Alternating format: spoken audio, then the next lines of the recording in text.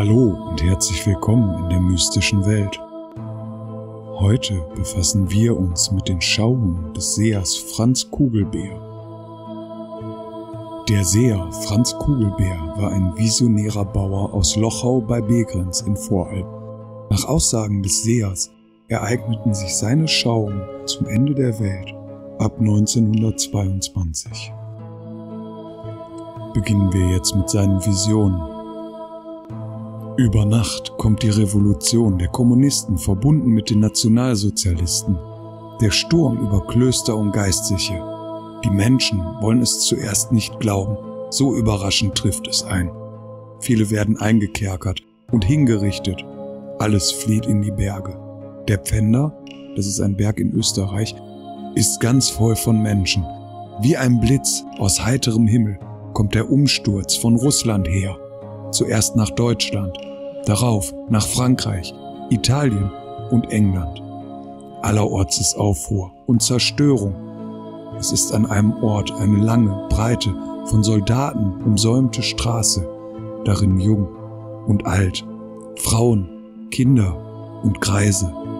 Am Straßenrand steht eine Köpfmaschine, die der Oberhenker durch einen Druckknopf in Betrieb setzt. Zu beiden Seiten von je zwei Henkern unterstützt. All diese Menschen werden enthauptet. Es fließt so viel Blut, dass die Köpfmaschine zwei bis dreimal versetzt werden muss. Finsternis von drei Tagen und Nächten. Beginn mit einem furchtbaren Donnerschlag, mit Erdbeben. Kein Feuer brennt. Man kann weder essen noch schlafen, sondern nur beten. Blitze dringen in die Häuser, Grässliche Flüche von Teufeln sind zu hören. Erdbeben, Donner, Meeresrauschen. Wer neugierig zum Fenster hinausschaut, wird vom Tode getroffen. Man verehre das kostbare Blut Jesu und rufe Maria an. Die Teufel holen die Gottlosen bei lebendigem Leibe. Vergebens flehen diese um Verlängerung ihres Lebens. Es herrscht die Pest. Große, schwarze Flecken am Arm sieht man. Schwefeldämpfe erfüllen alles, als wenn die ganze Hölle los wäre. Ein Kreuz erscheint am Himmel. Das ist das Ende der Finsternis. Die Erde ist ein Leichenfeld, wie eine Wüste. Die Menschen kommen ganz erschrocken aus den Häusern. Die Leichen werden auf Wägen gesammelt und in Massengräbern beerdigt. Es fahren weder Eisenbahn, noch Schiffe, noch Autos in der ersten Zeit. Die Fabriken liegen still das rasende Tempo früherer Zeit hat aufgehört.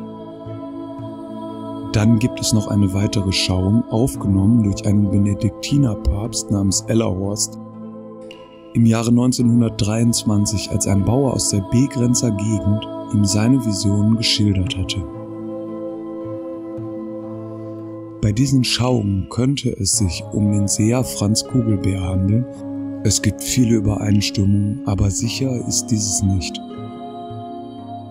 Kommen wir nun zu der niedergeschriebenen Vorhersage. Der erste Punkt ist hierbei ein Bild. Ein symbolisches Bild. Ein schönes Knäblein im weißen Kleide zieht sich vor gewaltigen Überschwemmungsfluten zurück. Christus flieht vor der Schlechtigkeit der Menschheit und überlässt sie sich selbst und dem Fürsten der Finsternis. Zweitens es herrscht eine große Sittenverderbnis. Mädchen und Frauen werden öffentlich vergewaltigt und auch mit dem Tode bedroht. An manchen Orten ist eine solche Hungersnot, dass die Leute Baumrinde zu Mehl mahlen, um daraus Brot zu backen und dass sie Gras essen. Drittens. Über Nacht kommt die Revolution der Kommunisten, verbunden mit den Nationalsozialisten, der Sturm über Klöster und Geistliche, die Menschen wollen es zuerst nicht glauben, so überraschend tritt es ein. Viele werden eingekerkert und hingerichtet. Alles flieht in die Berge. Der Fender ist ganz voll von Menschen. Wie ein Blitz von heiterem Himmel kommt der Umsturz von Russland her. Zuerst in Deutschland, dann auch in Frankreich, Italien und England. Allerorts ist Aufruhr. und Zerstörung. Der Seher sieht an einem Ort eine lange, breite Straße, von Soldaten umsäumt, darin jung und alt, Frauen, Kinder, Greise.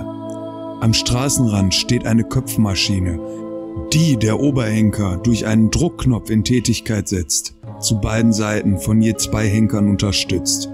Alle diese Menschen werden enthauptet. Es fließt so viel Blut, dass die Köpfmaschine zwei bis dreimal versetzt werden muss. Die Rheinlande werden zerstört, mehr durch Flugzeuge als durch Heere. Die Flugzeuge schwärmen wie die Schwalben und lassen Bomben gleich Regentropfen fallen. Ebenso wird Münster mitgenommen. Brand von Paris. Marseille wird von der Finsternis, von einer Meeresflut in einen tiefen Graben, der sich um sie gebildet hat, geschwemmt. Fünftens. Aufstand in Österreich. Keiner hat mehr Geld. Abfall der Beamten, Polizei, Gendarmerie. Kein Gericht. Gefängnis voll Bürger und Priester. Erschießungen im Hof zu begrenzt. Dann schaffen die Bauern aus dem Gebirge Ordnung. Jene Bürger, die den Nächsten lieben, werden wunderbar verschont. Wer ihn hart behandelte, wird bestraft. Sechstens. Mord und Totschlag in Rom. Drei bis vier Meter hohe Berge von Leichen, von Geistlichen und Bürgern. Der Papst Pius XII., als diesen erkennt der Seher ihn an seinen Gesichtszügen, flieht mit zwei Kirchenfürsten auf Nebenwegen zu einer alten Kutsche und in ihr über Genua in die Schweiz. Später kommt er nach Köln, wo er im Dom den neuen Kaiser salbt. In den Dom wird ein junger Herr in Zivil geführt. Er kleidet sich in der Sakristei in einer Offiziersuniform ähnlich der ungarischen um. Im Chore stehen zwei Throne, dem neuen Monarchen werden Haupt und Hände gesalbt.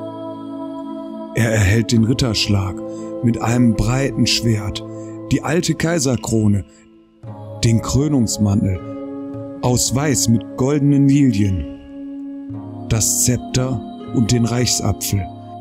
Das Zepter wird ihm gegen ein Kreuz umgetauscht. Er schwört den Treueeid und den Schutz gegenüber der Kirche. Te Deum unter dem Jubeln des Volkes. Der große Monarch schwingt sein Schwert nach allen Himmelsrichtungen als Zeichen, dass er die Kirche beschützen will. Abdankung eines alten Herrn auf seine Rechte. Den großen Monarchen begleitet ein Heer von Engeln, Anführung des heiligen Michael, der vom Seher in prächtiger Waffenrüstung und höher Gestalt geschaut wird. Der Monarch besiegt alle seine Feinde. Auf dem Rückzug nach Italien kommt Papst und Kaiser nach El, wo der Seher ihnen die Hand drückt. Siebtens. Finsternis von drei Tagen und Nächten beginnen mit einem furchtbaren Donnerschlag mit Erdbeben. Kein Feuer brennt. Man kann weder essen noch schlafen, sondern nur beten. Nur geweihte Kerzen brennen. Blitze dringen in die Häuser. Grässliche Flüche von Teufeln sind zu hören. Erdbeben, Donner, Meeresrauschen.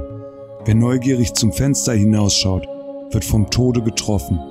Man verehre das kostbare Blut Jesu und rufe Maria an. Die Teufel holen die Gottlosen bei lebendigem Leibe. Vergebens flehen diese um Verlängerung ihres Lebens. Es herrscht die Pest. Große, schwarze Flecken am Arm sieht man.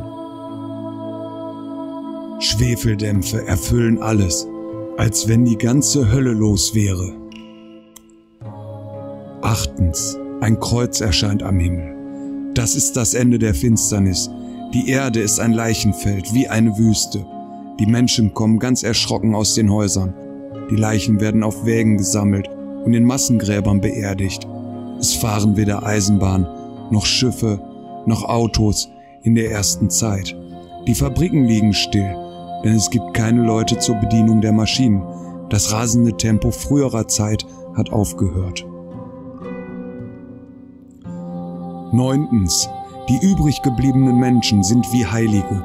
Gott beruft neue Priester wie Christus seine Apostel, die in schneller Weise auf ihr Amt vorbereitet werden. Nur Gottes Lob und Heiligenlieder sind zu hören. Die Erde ist ein Paradies.